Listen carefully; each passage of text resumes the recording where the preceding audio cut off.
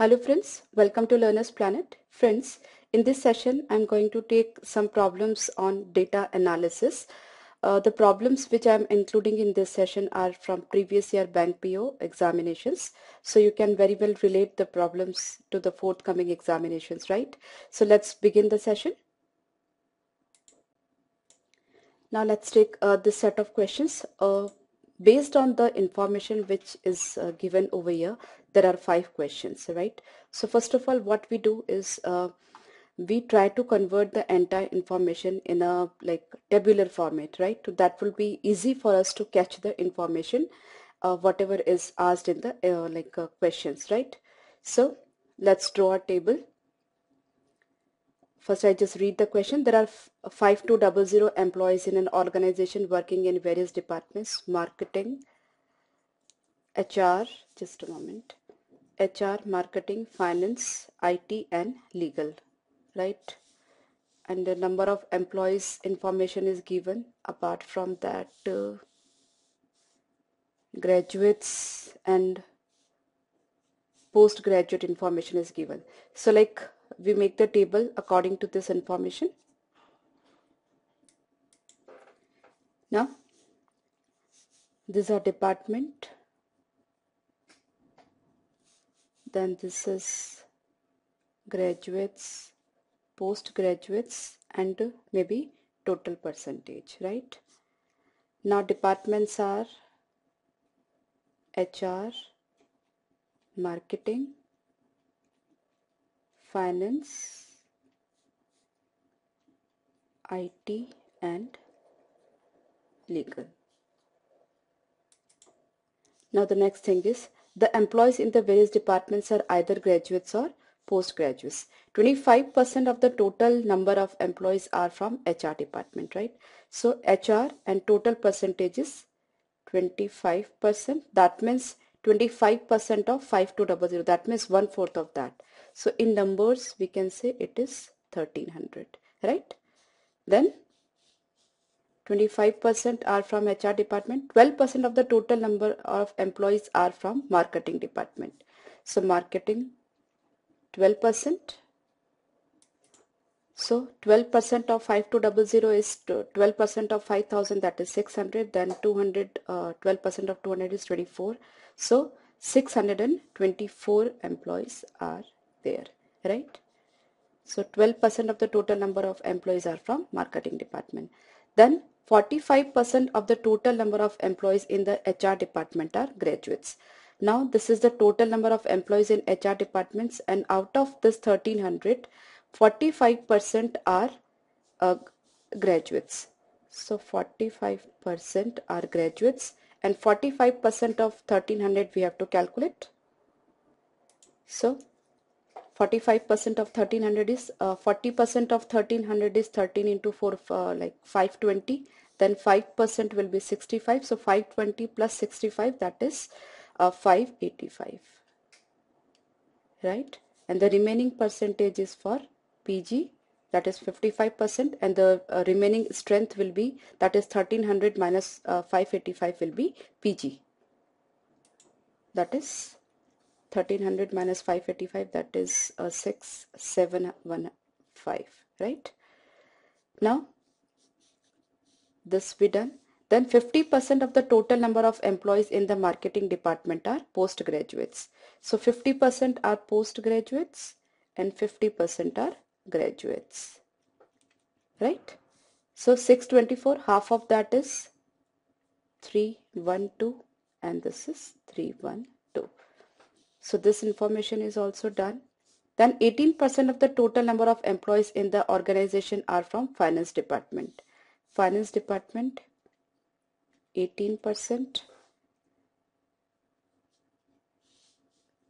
Okay, and out of it 75% are postgraduates. So 75 postgraduates, 25 graduates. I just calculate it afterwards. 546 employees from uh, IT department are postgraduates. So IT department 546 are postgraduates. Then 15% of the total number of employees in the organizations are legal department. So legal is 15%. Now this is what 25 plus 15 40 40 plus 30 70 that means 30 percent are from this IT department right now 15 percent of the time uh, this this is done. Now 60 percent of the total number of employees in legal department is graduates. So 60 percent are graduates. So 40 percent are postgraduates right? Now uh, we are complete with our uh, table. We just have to fill up the uh, like uh, blanks over here. After that we can proceed with the answers uh, questions right now the very first question is what is the total number of employees in IT department right now total number of persons in IT department is 30% of the total number of employees. So 30% of 5200 that is our answer, right? So what's that? That is uh, 1560 that is 30% of 5200. So we have 1560 over here. Okay, so if we are clear about the table, the answers will be like will be give, uh, able to give the answers very quickly, right? Let's take the next question. Now, what is the total number of postgraduates in the organization from all the departments together? So for this question, we need to fill up the remaining information. So let's do that. So first of all, this 30% of 5200, that is 1560. 15% is half of that. So that is 780 and 18% of 5200 it's 52 into 18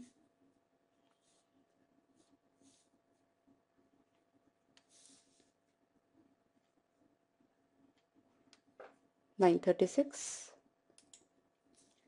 now this uh, 936 75 percent are uh, postgraduate. That means three fourth of 936 so that would be just cut it. 3 fourth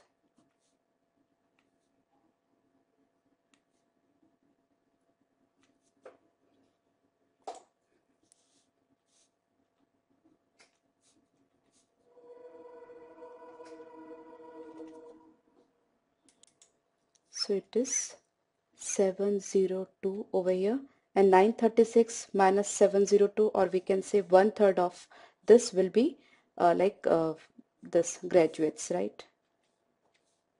One third will be like this only 234 okay so 2 I'm sorry 234 here it will be 546 so this will be 1 0 and 1 4 right? Then 40% are postgraduates in this case. So it's 78 into just calculate 40 it's just 4 only. 4 8s are 24 oh sorry 4 8s are 32 then 3 4 7s are 28 plus 3 so 780 minus 312 that is 460 are graduates. Now we are complete with the table. Now what was the question? What is the total number of employees uh, who are postgraduates? So we have to add up all these numbers. So 6 and 2, 8, 10, 12 and 5, 17, 1, 2, 6, 7, 8, 5 and 3, 8 plus 7, 15, 18 and 25. So it's 2587, right? So 2587 it's not there in the options so it's none of these. Okay. Now the next question the number of graduates in the finance department is what percent of the total number of employees in the organization. So first of all let's find out uh, we, we already have the number of graduates in finance department. Let's see the table. So it is 234 number of graduates in finance department 234 and we have to find out the percentage of uh, finance department graduates from total number of employees that is 5200 so what our calculation is it's 234 by 52 right so let's uh, see the options so it is 234 by 52 right? Now 52 into 4 if I do 4 2s are 8 4 5s are 20 it's 208 so it's more than that. That means the answer is more than 4% it's uh, 5 2s are 10 5 5s are 25 26 so it's less than 5% so we have the option uh, in between these two is around 4.5% right? So 4% is 208 plus half percent is that is 26 so 208 plus 26 to 34 exactly 4.5 percent right? So clear? Now next is what is the ratio of the number of postgraduates in legal department to the number of postgraduates in HR department that means we have to compare postgraduates of legal department and HR department so let's do it so it is legal is to HR. So it is 312 by 715, right?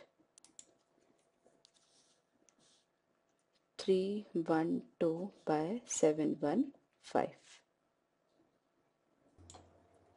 Now friends, uh, we have to find simplify the ratio. Now we can see. Now how to simplify that? See the denominator it is multiple of 5 but the numerator is not multiple of 5 so 5 will not get cancelled so in denominator if we simplify the denominator should be multiple of 5 right so this option is eliminated now the denominator is multiple of 11 as well, right? 7 plus 5, 12 minus 1, that is 11, right? You know the divisibility test of 11. So it is multiple of 11, but the numerator is not. So further, the 11 will not get cancelled. So the denominator should be even multiple of 11 as well. So we eliminate this, we eliminate this. Now we have this. Now we can just simplify. It is 55. So if I cancel this by 55, what or uh, this is multiple of 24, yeah. 24 uh, yeah so 24 13 times and 55 into 13 it's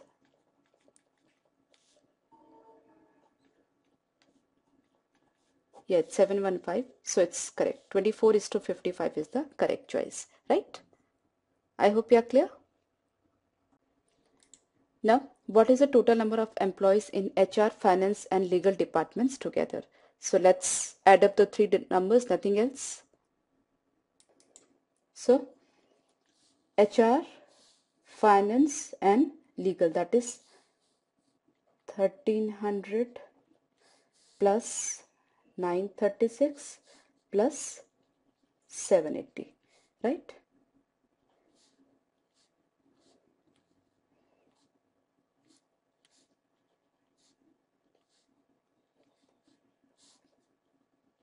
So it's 3016 is the correct option, right? So we spent some three, four minutes in uh, making that particular table. Out of after that, it was quite easy for us to answer all the questions. Like hardly it took any time. In fact, we spent four minutes in making the table and two minutes in answering the questions. So in all, five questions were done in just six minutes. That too when I'm explaining it to you. When you are doing it on your own, you don't have to explain it to anybody. Then the time will be obviously reduced, right? So I hope you are clear. Now friends, uh, further, uh, let's take the next set of questions. In the uh, like uh, in this particular question, this information is given, and on this information, five questions we have to solve, right? So first of all, let's convert the information in uh, a tabular format, so we can catch the data easily. Now here, the students have visited five cities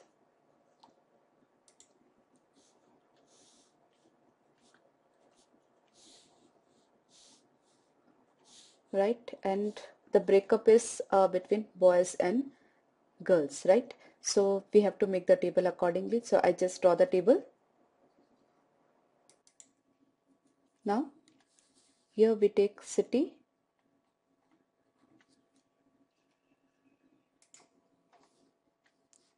Then boys and then girls and if any other percentage or total is there right so let's take uh, the information one by one 45% of the total student are boys. So 45% of 1200. So it's 1200 into uh, 0.45 that is 480 plus 1200 into 5% that is 60. So 480 plus 60 540 boys are there and the remaining are girls. So girls are 600 plus 60 that is 660 right? I'm sorry I just don't have to write it over here. It's 540 and it is 660 this is the total right? Now let's write the name of the cities. It is Delhi Kolkata Varanasi Mumbai and Jodhpur right now the next is 30% of the total girls visited Mumbai. So total girls are 660 and 30% visited Mumbai, right? So it's 30%. Then 2 fifth of the total girls visited Delhi. So 2 fifth, 2 fifth is what? 40%. So 40% girls visited Delhi. Now number of girls who visited Jodhpur is half of the girls visited Delhi. So it's 40%. So Jodhpur will be 20%, right? Now the remaining girls are 40 plus 30, 70 and uh, 20, 90. So 10% of the girls are remaining.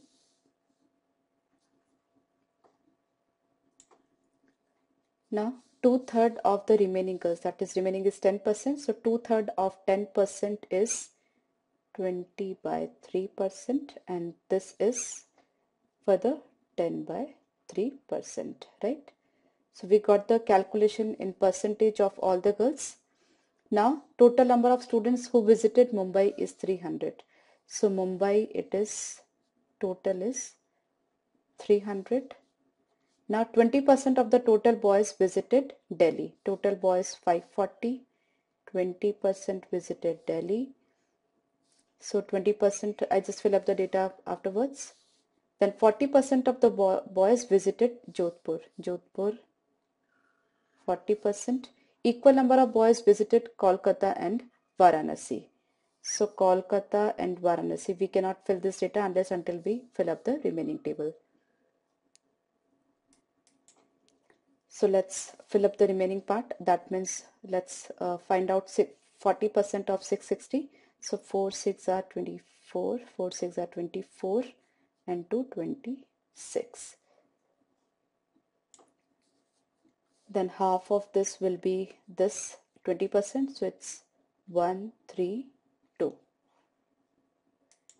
And 30% will be 3 6 are 18, 3 6 are 18 and 1 19 so it's 198 this data and 20 by 3 percent. So it's 20 by 3 is uh, 322 22s are. It's 44 and half of that that is 10 by 3 percent is 22 so this is the breakup of 660 similarly over here it's 20 percent is 108 it's double of that so it's 216 right here uh, girls are 198 and the total is 300 that means boys will be 300 minus 198 that is 102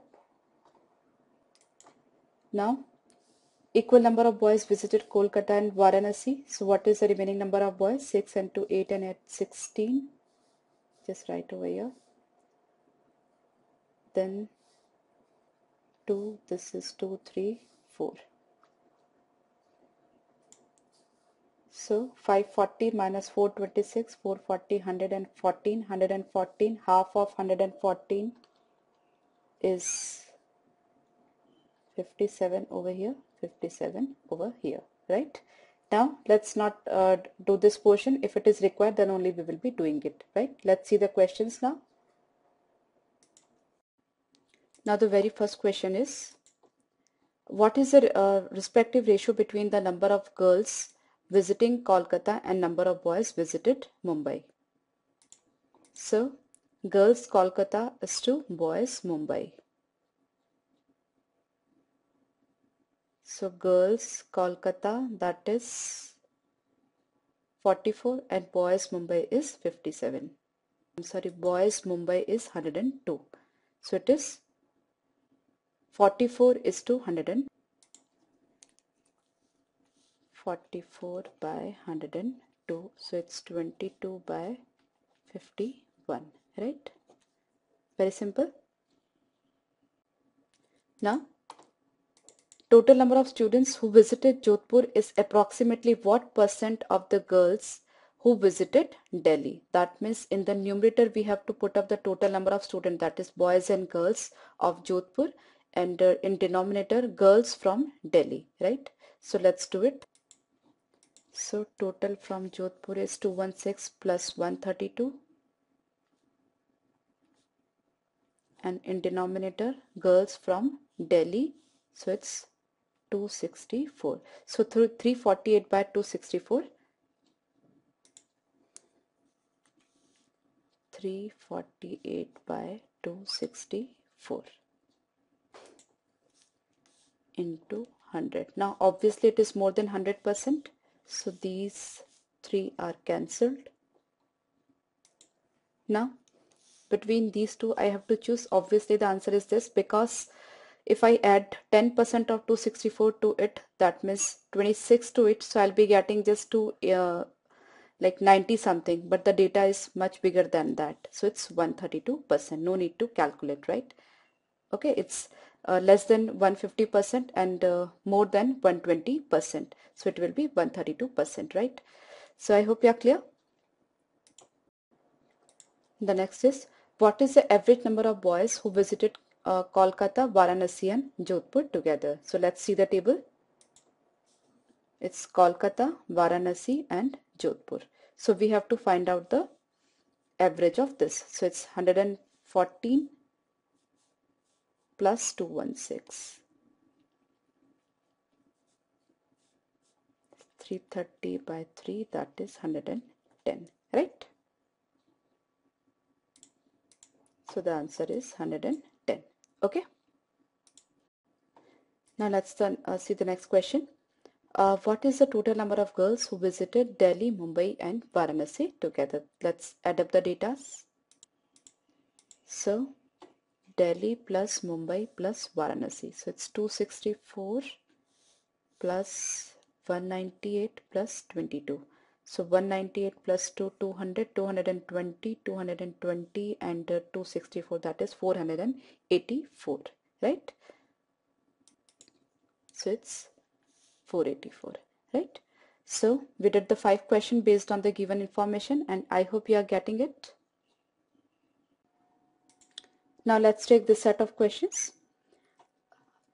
Here let's catch the sum of the information. 15,000 candidates officers post in a public sector bank. Okay. Prior experience in public sector rural areas total number of candidates in public sector urban areas. Prior experience in private sector urban areas and private sector rural areas so precisely the story is officers post is there like 15,000 candidates are there they have the experience of public sector as well as private sector banks in rural and urban areas, right? So we have to make the table according to that, right? So let's do it. So here it's public sector bank. So I take it as public sector and this is private sector. This is with experience and this is without experience. This is with experience and this is without experience. Right? Now let's fill up the information. 450 candidates have prior experience in working in public sector banks in rural areas only right 450 uh, candidates have prior experience in public sector bank in rural. So it's rural and it is urban. So it's 450. Now next is 25% of the total number of candidates have prior experience in working in public sector banks in urban areas only. So 25% of the total that is 15,000, 25% or one fourth of 15,000. So it is 3750 that uh, these persons have the experience in public sector bank in urban areas. So public sector bank experience it's 3750 right. Next is 12% of the total number of candidates have prior experience in working in private sector bank urban areas. So private sector this is urban and this is rural right. So 12% have experience of private sector in urban areas. So 12% of 15,000 that is 1800 that is in urban areas. Next is 2% of the total number of candidates have prior experience of working in private sector bank in rural areas. So what's 2%? So 15,000 into 2% is 300. So 300 is private sector rural areas, right? Next is 3600 candidates have worked in public sector bank in both urban and rural. Public sector bank urban plus rural is public sector bank urban plus rural is it's 3600 okay next is 15% of the total number of candidates have worked in both public and private sector bank urban areas. So public plus private but in urban that is 15% that means 2250 right? Okay next is 600 candidates have worked in both public and private sector banks in rural areas. So this information in rural that is public plus private in rural the total is 600 right and the remaining candidates have no prior experience of working in the banking industry right now let's uh, start doing the questions now the first question is how many candidates have prior experience of working in rural areas public and private sector bank altogether so rural areas, let's calculate that. So let's add up the numbers uh, before rural. So it's 450, 450 plus 3600. So it's uh, 4050 then 4050 plus 300 is 4350 then plus 600 so 4950 uh, right? So it's 4950 pretty easy. Now the next question is how many total number of candidates have prior experience of uh, working in public sector banks urban and rural? So we have to find out for public sector. Just see the table.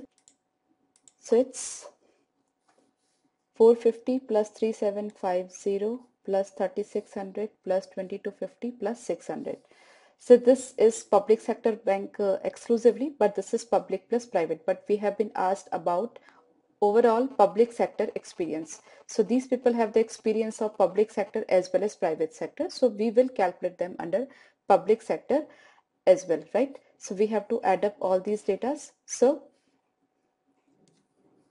let's uh, 3000, 3000, uh, 6000, 6, 7, 8000. Then this is 450 plus 757 and 411 1200 6 to 18 uh, 1800 plus 6 7 850 so it is 9800 plus 850 that is 10650 right? That will be our answer. So it is 10,650 okay? Let's take the next problem. Now let's see this question What is the respective ratio of the candidates who have a prior experience of working in public sector bank in rural areas only?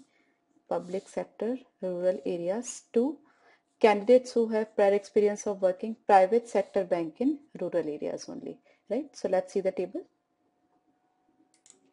So public sector rural areas is 450 and private sector rural areas is 300. So our ratio is 450 is to 300. That is uh, 15, 3 and 2. 15 uh, is 3 is to 2, right? So that is 3 is to 2, right? Let's take the next question.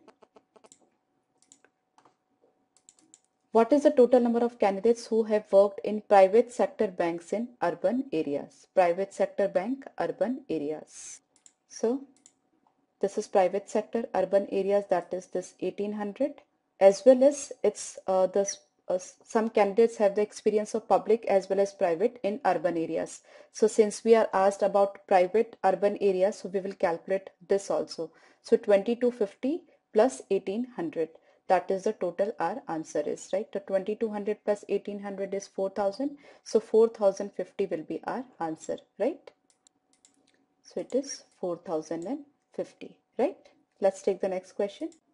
Now the next question is the candidates who have no prior experience of working in banking industry are what percent of the candidates who have worked in public sector banks in both urban and rural areas together. That means in the denominator we have public sector banks. Uh, the candidates have worked in urban and rural areas both, right? So we have public sector rural plus urban is 3600 that should be in denominator. And in the numerator the persons who do not have any prior experience. So we have to find out the uh, this complete total and we have to deduct that total from 15000 to get the number of persons uh, who do not have any prior experience right? So 3 and 3 6000 7 8 9000 then this is 450 750 1200 and 6 1800 18 and 3 21 21 and 6 27 27 28 29